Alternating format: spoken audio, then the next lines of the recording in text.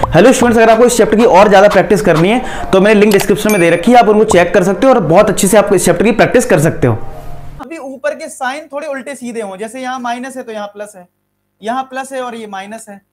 Sign cos में लिखा हो और आंसर सेक और टेन में लाना हो तो ऐसा क्वेश्चन बहुत खासम खास होता है। ऐसा क्वेश्चन बहुत खासम खास होता है। अब देखो आंसर में तुम्हें टेन लाना है तो टेन कब आता है?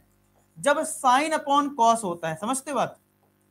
तो आपको क्या करना है? शुरुआत में ही, शुरुआत में ही इसको एलएचएस में कॉस से डिवाइड कर देना है। क्यों? क्योंकि साइन अपॉन कॉस जो होता है, वो टेन होता है। इस वाले में ट्रिक याद रखना, नहीं तो फिर आप बहुत लेंदी कर देंगे इस क्वेश्चन को। अगर आपको ये याद नहीं रहा कि भाई हमें करना क्या है, अगर आपको ये वाला क्वेश्चन याद नहीं रहा तो बहुत दिक्कत हो जाएगी। तो हम क्या करने जा रहे हैं? कॉस से डिवाइड। क्या करेंगे बेटा? ये न्यूमरेटर है, ये डिनोमिनेटर है। This is numerator this is denominator अगर हम दोनों में कॉस ए से डिवाइड कर दें न्यूमरेटर में भी कॉस ए से डिवाइड और डिनोमिनेटर में भी कॉस ए से डिवाइड दोनों में अगर कॉस ए से डिवाइड कर दें तो कोई दिक्कत परेशानी वाली बात नहीं है। कोई दिक्कत परेशानी वाली बात नहीं है। ध्यान सुनना मेरी बात।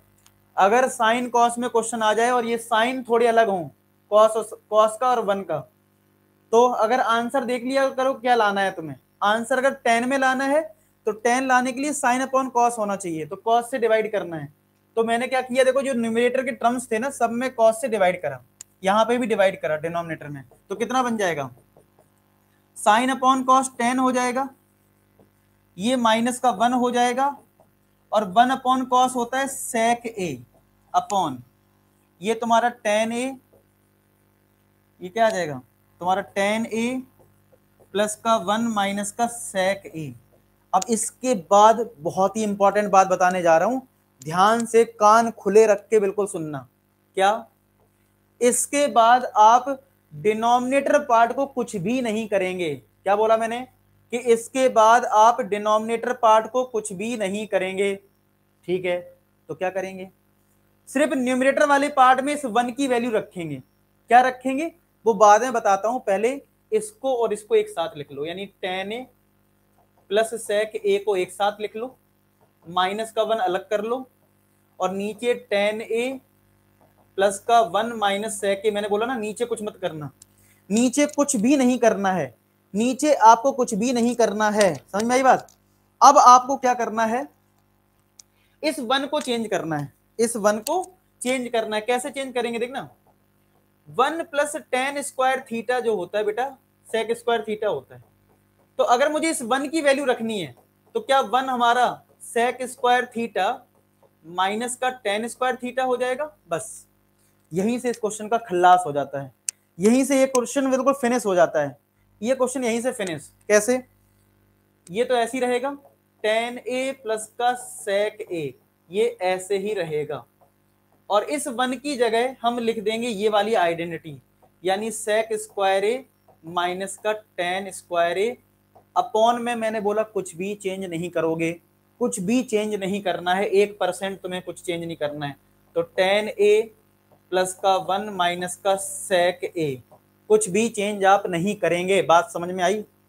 बात समझ में आई? कुछ कुछ तो आ गई होगी बात समझ में? हम्म आई समझ में? देखो, फिर से समझा देता हूँ। फिर से फटाफट समझा देता हूँ एक लाइन में। क्या है यहाँ पे? न्यूमरेटर में और डिनोमिनेटर में। न्यूमरेटर में और डिनोमिनेटर में दोनों में कॉस से डिवाइड कर दिया।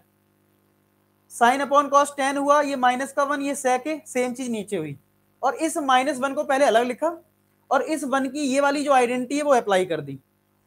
अब ये देखो A square minus B square बन जाएगा यहाँ से। अब ये तो टेन ए प्लस सेके है यहाँ पे। माइनस यहाँ पे A square minus B square क्या होता है? ए प्लस का बी क्या जाएगा?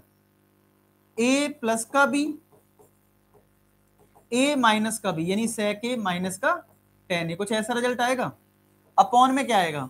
अपॉन में आ जाएगा टेन ए प्लस का वन माइनस का सेक ए। ध्यान सुन लो, ध्यान से। A square minus B square बेटा होता है A plus B, A minus B. क्या कुछ कॉमन मिल रहा है क्या? तो टेन ए प्लस सेक ए यहाँ भी है, टेन ए प्लस सेक ए यहाँ भी है। ले लो कॉमन तो भैया, चाहे सेके प्लस टेन ए बोलो, चाहे सेके टेन ए प्लस सेके बोलो, एक ही बात है वो। तो मैंने सेके प्लस टेन ए ले लिया कॉमन तो ब्रैकेट में क्या बचेगा? यहाँ तो बचा वन माइनस ब्रैकेट। ये कॉमन चला गया तो यहाँ से आ गया सेके माइनस का टेन ए आई होप आपको ये चीज़ समझ में आ रही हो। अपॉन में क्या है? अपॉन में है टेन ए प्लस का वन माइनस का सेक ए कुछ ऐसा रिज़ल्ट आएगा? अब बस ब्रैकेट ओपन कर दो सॉल्व कर दो। ब्रैकेट ओपन कर दो सॉल्व कर दो। इसके बाद तो sec A plus tan A